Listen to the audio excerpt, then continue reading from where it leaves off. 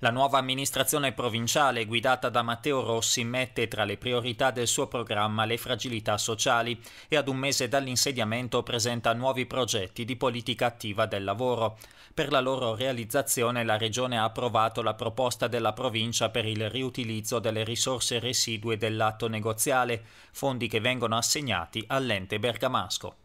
All'inizio del mio mandato, un mese e mezzo fa, ho detto che sul lavoro, sui giovani e sulle pari opportunità c'era un impegno particolare da parte della nostra amministrazione provinciale.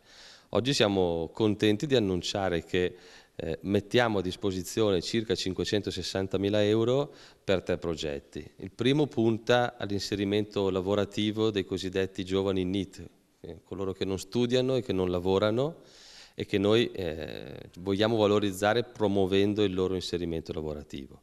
Il secondo è un progetto che riguarda le pari opportunità, quindi le possibilità di lavorare con le aziende per promuovere azioni di welfare aziendale, di conciliazione eh, casa-lavoro, eh, di inserimento dei figli, dei lavoratori in alcuni eh, servizi educativi.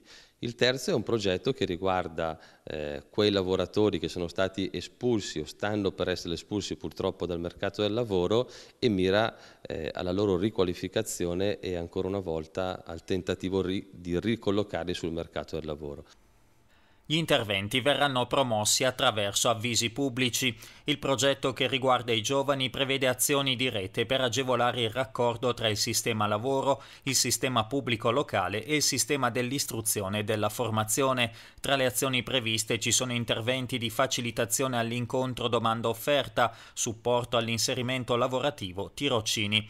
L'iniziativa è sostenuta da risorse pari a 159.494 euro. Per le pari opportunità ci sono a disposizione 175.000 euro. La proposta prevede il sostegno di iniziative e di progetti promossi da aziende del territorio anche in rete con le istituzioni pubbliche locali, ad esempio l'accesso ai servizi socioeducativi per l'infanzia e di cura di familiari attraverso l'erogazione di benefit ai lavoratori da parte delle imprese o un utilizzo più congruo e accessibile dello strumento dei congedi parentali.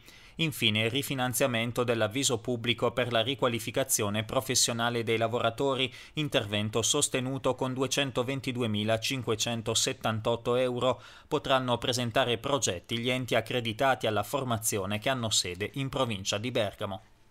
Queste sono le priorità per noi insieme alle, alle, fragilità ambientali, quindi agli interventi sul dissesto idrogeologico che oggi presenteremo in bilancio, le fragilità sociali, giovani, lavoro, eh, il ruolo delle donne, le pari opportunità, eh, hanno un'attenzione particolare da parte del Presidente e dell'intera provincia e l'abbiamo dimostrato con questi progetti e con queste risorse.